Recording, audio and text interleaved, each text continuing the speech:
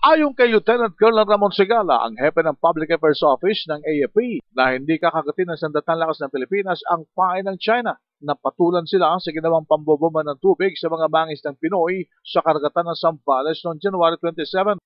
uh, itong ginawa nila na to ay uh, does not warrant a military response. Yan ang gusto ng uh, China kasi gusto nilang pakita na tayo ang tayo ang aggressive aggressor dito sa uh, ating claims with China, no?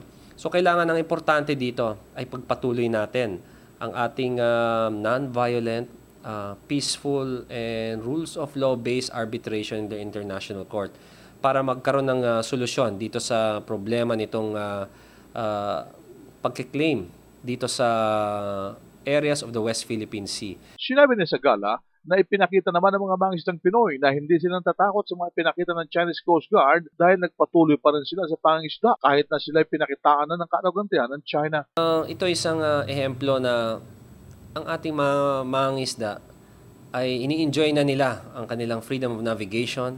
Bagamat um, uh, ginamitan nila ng uh, water cannon ng ating uh, mga fishermen, sila ay tuloy pa rin uh, sa kanilang uh, paggagawa ng kanilang livelihood. Tiniyak naman ni Sigala na ipagtatanggol ng militar ang mga mangisda sakaling malagay na sa kapahamakan ang kanilang buhay sa kamay ng mga Chinese forces. Uh, maasahan nyo ang sandataan lakas ng Pilipinas na kung dumating na na bibigay nila ng kapahamakan ng ating mga fishermen, ay definitely um, nasa mandate ng AFP ang uh, protektahan sila ang pahayag at paliwanag ni Lieutenant Colonel Ramon Sagala sa Campo Aguinaldo. Yan ang DCRH News, RH 911, Bing Formento, naglilingkod sa pagbabalita.